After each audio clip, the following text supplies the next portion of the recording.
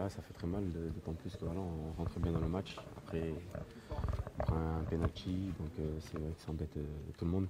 Mais bon, après, l'envie, l'envie y est, la mentalité y est. Après, faut pas lâcher, il faut continuer à travailler et gagner des matchs. Vous arrivez encore à garder quelque chose de positif après un match comme celui-là? Si on n'est pas positif, il n'y a personne qui le sera pour nous. Hein. C'est ça, donc euh, voilà, faut pas baisser la tête. Il faut aller, faut aller de l'avant, il faut, faut continuer à bosser, c'est tout. Il n'y a que ça à faire.